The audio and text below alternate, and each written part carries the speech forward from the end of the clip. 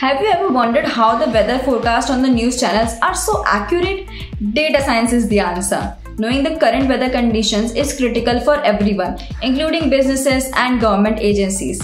Hello everyone, welcome to another interesting topic where data science could be used. Climate change has a direct or indirect impact on many businesses. For example, farmers use weather forecast to plant planting, irrigating, and harvesting times. Weather forecasting affects a wide range of professions, including construction, airport control, and more. Businesses will be able to operate more efficiently and without interruption thanks to its use. Data science for weather forecasting includes a number of sub processes such as predictive modeling and ML. Data is fed into machine learning algorithm, which builds correlations between weather data and the relevant forecast. It's possible to get more accurate results by combining ML with more firmly grounded physical models. In order to predict the weather, advanced models and machine learning are used in conjunction with physical models and large computer systems. Since a few years ago, data scientists have realized that in the near future, they will need ML and predictive models in order to produce results that are close to perfect. Artificial intelligence is hailed as the next step in storm protection according to some.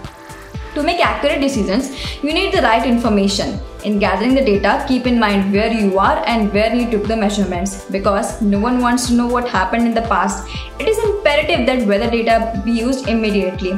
All of this matters, both in the present and in the future. As a result, data must enter and exit quickly and recycle quickly within minutes in order to produce useful information. Weather data is used not only in predicting floods and natural disaster, but it also plays a vital role in sports, asthma attacks, and car sales. You must be wondering how. Through data analytics models, floods and other natural disasters can be predicted, whereas weather prediction helps in deciding the time for matches prior to reducing the chances of pausing the game. When it comes to asthma, the inhaler used during asthma attacks have sensors in them, which can gather data ensuring that they are properly being used. It usually collects data related to temperature, humidity, air quality, and presence of dust in particular areas. Along with weather data, one also needs satellite imagery and sensor data. In terms of satellite imagery, there are a variety of sizes and shapes available in the black and white spectrum. Some satellites are useful for identifying and measuring clouds while others are used to measure wind patterns over the sea. Data scientists rely on satellite imagery to generate short-term forecasts as well as to verify and validate models. Pattern matching is another application of machine learning. It can be used to predict the future if it recognizes a pattern that has already appeared in the past.